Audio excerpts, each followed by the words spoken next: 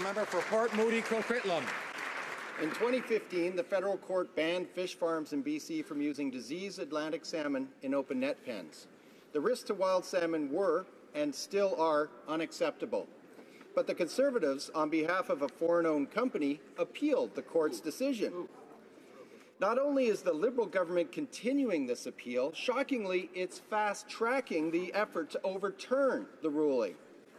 Why is the government continuing with this conservative approach, fighting the court ruling, and putting BC wild salmon at risk? The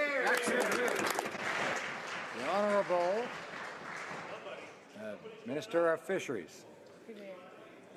Thank you, Mr. Speaker. Mr. Speaker, I'd like to thank the, the member for that question. Mr. Speaker, I'd like the member to know that this is an issue that has been recently brought to my attention.